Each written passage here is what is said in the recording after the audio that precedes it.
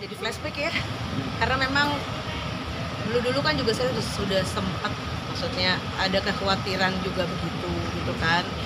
Ya namanya kakak pastilah pengennya yang terbaik buat adiknya cuma Oh kalau masalah itu saya mewakili keluarga ya bukan cuma Wirda gitu. Bukan cuma Wirda eh, artinya mengingatkan itu adalah sesuatu yang eh, memang harus disampaikan gitu. Jadi jauh sebelum mereka ketangkep saya sebagai kakak yang tua juga udah bicara dulu sama sebelum sebelum adanya penangkapan tuh baru tahu bahwa eh, Muhammad dekat sama Wirda ah sama Wirda sama Dawiyah. Dawiyah saya juga eh, saring-saring kan kita juga harus tahu siapa dia dan sebagainya dan sebagainya.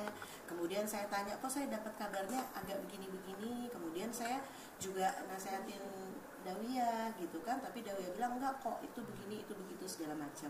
Tapi kan akhirnya bukan terbukti sekarang. Kalau saya ya terbukti akhirnya mereka ditangkap sebenarnya udah itu prosesnya gitu. Tapi kan setelah itu eh, kita coba eh, mengingatkan satu sama lain. Kita juga bilang bahwa eh, bukan masalah bagaimana Muhammad mohon maaf. Tapi kita juga tahu kenyataan yang harus kita terima bahwa Dawiyah juga kena narkoba juga. Nah untuk menyatukan mereka kan ini sebenarnya sesuatu yang amat riskan. Iya kan? Orang yang sama-sama narkoba sebenarnya kan rantainya harus diputus gitu kan tapi dengan kejadian itu mereka berdua meyakinkan kita akan cinta mereka akan keinginan mereka eh, cita-cita mereka dan sebagainya.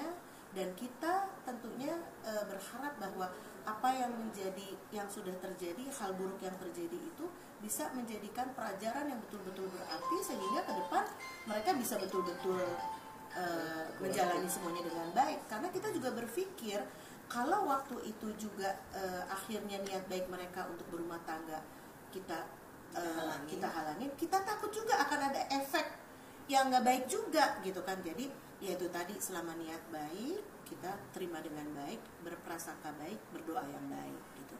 Kemudian menjadinya seperti ini ya ini juga yang harus memang kita terima. Jadi bukan cuma Wirda tapi kita semua pun sudah eh, saling mengingatkan gitu pada saat itu. Ini masih ada kesempatan untuk Muhammad memperbaiki kesalahan. kesalahan. Insya Allah kita doakan Jangan lupa subscribe, tekan tanda lonceng,